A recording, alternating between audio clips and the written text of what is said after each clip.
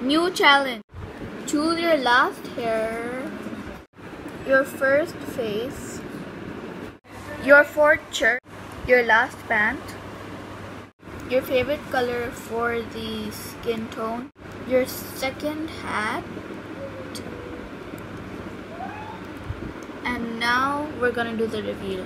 Three, two, one.